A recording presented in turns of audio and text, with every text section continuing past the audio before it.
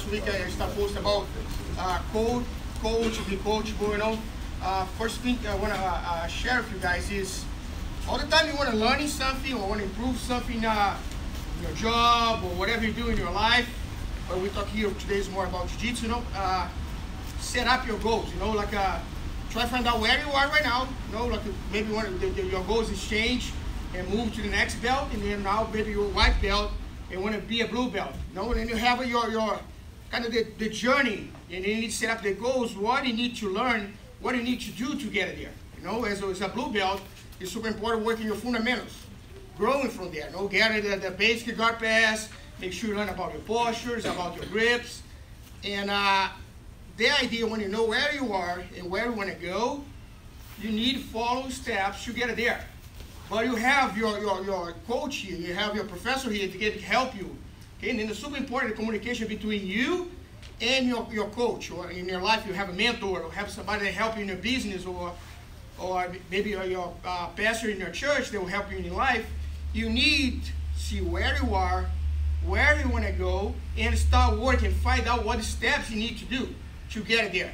Okay, and then maybe you blue white belt, you need to concentrate right now in fundamentals. You know, don't don't think too much of the crazy movements, the, the, the stuff that need a lot of knowledge because you're still learning, still as the beginning of your journey, beginning of your path.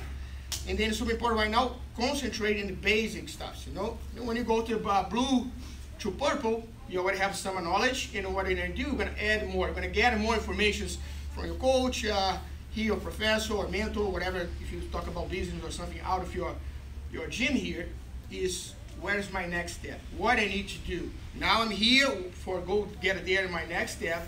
That's my purple belt. What I need to do to get there. Okay, and your coach is again gonna help you, gonna give information for you from blue to get the purple. And uh, this is every step you do in Brazilian Jiu-Jitsu like a, a, lifestyle. They're gonna be white to blue, blue to purple, purple to, to brown, and brown to black. But you need to follow the same principles in your life too. You know, everything you do, you always look for improvement, always look to getting better, and try to find out what the steps you need to do to get there. Okay, and it's super important you, you, you're learning those steps, those tasks, and be open to, to, to get information. You know, we're here to help.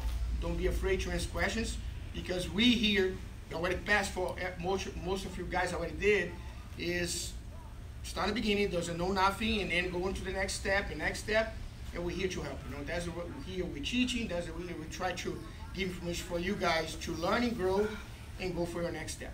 Okay, and then your next step you're gonna do from here, and then you finish on the, the position on the side.